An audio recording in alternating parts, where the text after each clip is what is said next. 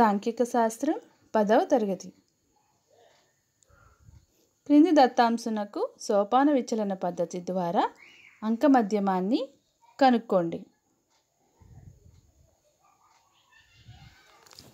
తరగతి మధ్య విలువ ఎక్స్ఐ కనుగొని దానిని పట్టికలో పొందుపరచుదాం. ఇక్కడ మనకి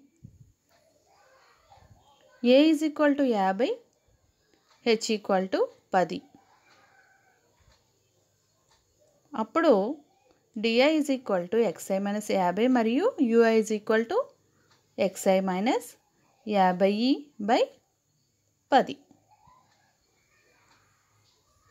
ఇప్పుడు మనము డిఐ మరియు యుఐ విలువలను కనుగొని పట్టికలో పొందుపరచగా మనకు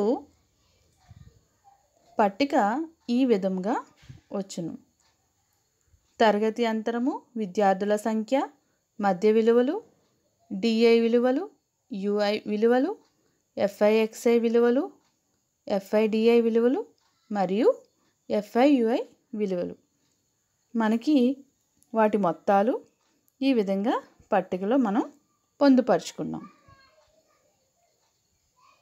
ఈ పట్టిక ప్రకారం మనకు వచ్చిన విలువలు ఈ విధంగా ఉన్నాయి.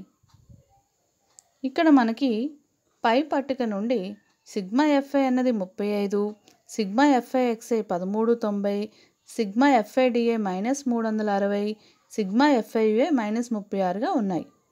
ప్రత్యక్ష పద్ధతి ద్వారా x bar is equal to sigma FI XI by sigma FI అంటే పదమూడు తొంభై బై ముప్పై ఐదు అంటే మనకి ముప్పై తొమ్మిది పాయింట్ డెబ్బై ఏడు ఒకటి. ఊహించిన సగటు పద్ధతి ద్వారా x bar is equal to A plus sigma FI DA by sigma FI is equal to మనకి ఆ విలువలు ప్రతిక్షేపిస్తే మనకి ముప్పై తొమ్మిది పాయింట్ ఏడు ఒకటి వస్తుంది. సోపాన విచలన పద్ధతి ద్వారా మనం ఫార్ములాలో మనకి ప్రతిక్షేపించినప్పుడు కూడా మనకి వచ్చిన విలువ ముప్పై తొమ్మిది పాయింట్ ఏడు ఒకటి.